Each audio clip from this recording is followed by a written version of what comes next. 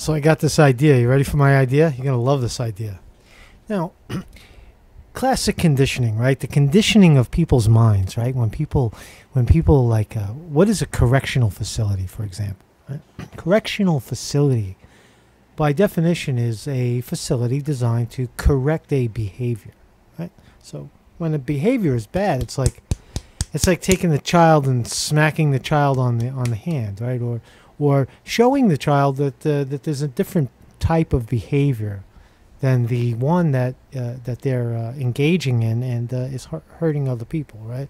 So my idea is is rather simple. If there's only 500 um, billionaires in the country and 10,000 publicly traded companies with approximately the same number of CEOs and a ruling class that's probably in the two or three hundred thousand uh, number, right? It's less than the, the one tenth of one percent, right? So I suggest that we well, what we do is we to, to correct the problem. Now I know people think that taxation is not the way to go, but let me tell you something: taxation is the only way to go, right? You don't you don't listen. This is what you don't do, right? You don't try to to to force the hand of people in a uh, you know an old school socialist way or a, a a already broken capitalist way. What you do is you you let the money rain down and let people decide.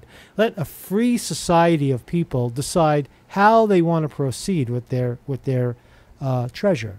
Right so by treasure by by oops. Oh i got a visitor. Oh, i got a visitor. I got a visitor. Oh, see the tail I got a visitor. So, hello, say hello. Hello. Morning. Say hello. Wow. So, where was I before the beautiful cat took my breath away?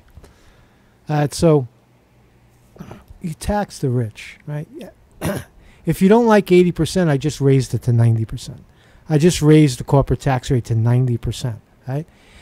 and we take some of that money and we build we build nice correctional facilities for the rich. Ah, correctional facilities. We have excuse me. We have one, we have 2 million people. 2 million poor people in jail right now. 2 million poor people in jail.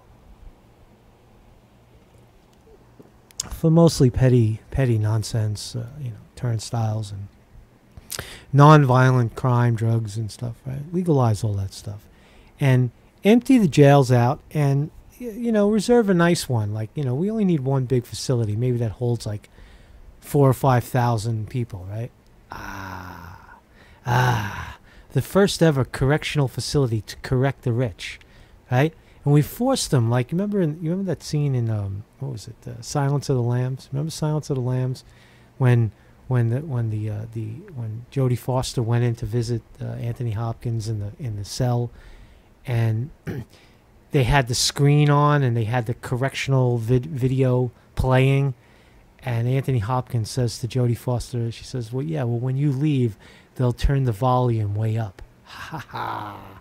See, that's how you treat the rich, right? Because they don't know; they've lost touch, and there's too many degrees of separation between them and poor people right? And they're the ones running the show, politicians included. They've gotten so fat and so rich. And why is Nancy Pelosi have a hundred million dollars? Why does why did Barney Frank resign and and take his hundred million and, and and run to Connecticut? Right? Why did he? Right? It's the money, right? So what you have to do is tax evasion, right? It, that's what it is, right? That's what they're doing. They're not they're not reciprocating on the treasure, right? That's what corporations do. They take the money and they they get a team of lawyers and they move it around. You take them, you take the team of lawyers, you throw everybody in the correctional facility, and you make them do hard time, right? Where they actually have to work with their hands for for two dollars an hour, or or make it so that if you want to eat, then you have to work with your hands in the outside. right? Is it a fantasy? Is it is it a, is it a ridiculous opinion? I, I think we're in really I think we're in really severe times right now. My read on it is that you're not going to shake the oligarchy.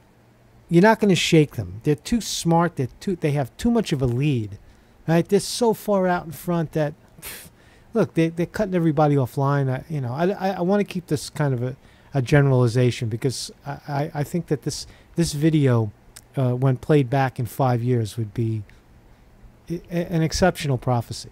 I'm making a prophecy right now that we need to create a correctional facility for for the rich for their for their crimes against the people right when they they're stealing they're thieves but they use various degrees of separation through the taxation through through the legal system lawyers judges you know so so we need to we need to correct them right so this is my time capsule video on on uh, the the creation of a of a, of a, a criminal justice system that focuses on the wealthy right and cuts them down to size.